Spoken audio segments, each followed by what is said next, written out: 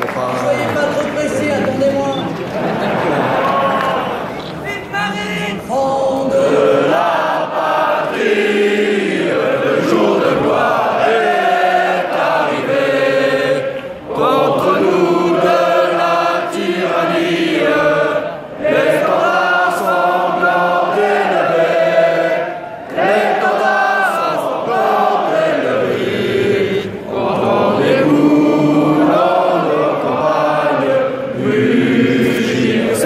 à ce.